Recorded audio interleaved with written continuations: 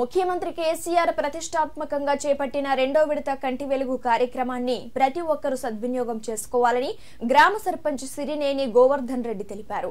పద్దెనిమిది సంవత్సరాలు నిండిన ప్రతి ఒక్కరూ కంటి పరీక్షలు చేయించుకోవాలని సూచించారు. సిద్దిపేట జిల్లా తొగుట మండలం ఎల్లారెడ్డిపేట గ్రామంలో ఐదో రోజు కొనసాగిన కంటి వెలుగు కార్యక్రమాన్ని ఆయన పరిశీలించారు. ఈ సందర్భంగా మాట్లాడారు. గ్రామంలో కంటి సమస్యలతో బాధపడుతున్న ప్రతి ఒక్కరూ పరీక్షలు చేయించుకొని వైద్యులు సూచించిన మందులు వాడాలని కోరారు. గ్రామంలో ఇప్పటి వరకు ఆరు వందల యాభై రెండు మందికి కంటి పరీక్షలు నిర్వహించగా నూట ఎనభై రెండు మందికి వెంటనే కంటి అద్దాలు ఇవ్వడం జరిగిందన్నారు.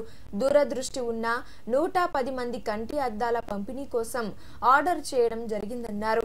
గ్రామంలో కంటి ఆపరేషన్లు అవసరమైన డెబ్బై మందికి త్వరలో ఉచితంగా కంటి ఆపరేషన్ నిర్వహించడం జరుగుతుందని తెలిపారు.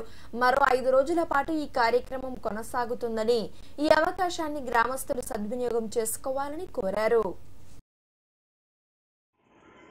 గౌరవ ముఖ్యమంత్రి గారు చేపట్టిన రెండవ విడత కంటి వెలుగు కార్యక్రమంలో భాగంగా మా గ్రామం ఎల్లారెడ్డిపేటలో కంటి శిబిరం నిర్వహించడం జరుగుతుంది. ఈరోజు ఐదవ రోజు కంటి శిబిరం నిర్వహించడం జరుగుతుంది. నిన్న నాలుగు రోజుల వరకు మా గ్రామంలో ఇప్పటివరకు ఆరు వందల యాభై రెండు మంది పేషెంట్లు కంటి పరీక్ష చేయించుకోవడం జరిగింది. అందులో రెండు వందల తొంభై రెండు మందికి అద్దాలు ఇవ్వాలనే ఆలోచన రెఫర్ చేయడం జరిగింది. దాంట్లో భాగంగా నూట ఎనభై రెండు మందికి మన రీడింగ్ క్లాసెస్ పంపిణీ చేయడం జరిగింది. అలాగే ఇంకొక నూట పది మందికి దూరం చూపు ప్లస్ దగ్గర చూపు కలిపి ఆర్డర్ ఇవ్వడం జరుగుతుంది కాబట్టి వాటిని ఆర్డర్ ఇవ్వడం జరిగింది. అంతేకాకుండా డెబ్బై మంది పేషెంట్లకు మన కంటిలో పొరలు రావడం వల్ల సర్జరీకి రిఫర్ చేయాలనే రిఫర్ చేయడం జరిగింది.